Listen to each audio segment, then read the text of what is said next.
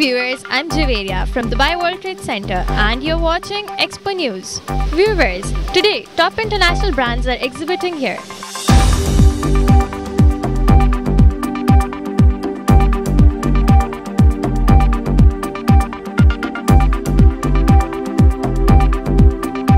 So let's go and talk to one of the top brand of this expo.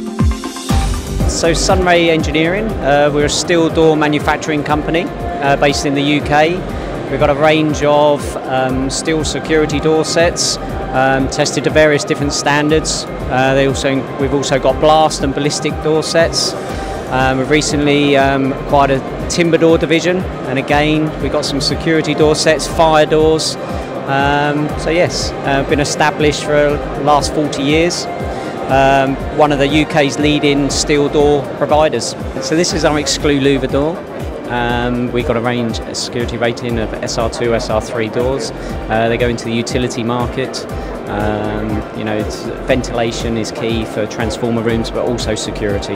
This is one of our timber doors. Um, we've got a range of security rated plus fire rated door sets um, single, double, different configurations with lock-in. Uh, this is our SR rated door set. Um, this is actually a, a, government approved door set, CPNI rated, and it's had ballistic and blast testing as well as security attack. We're trying to obviously um, look at a different market, trying to break into the UAE.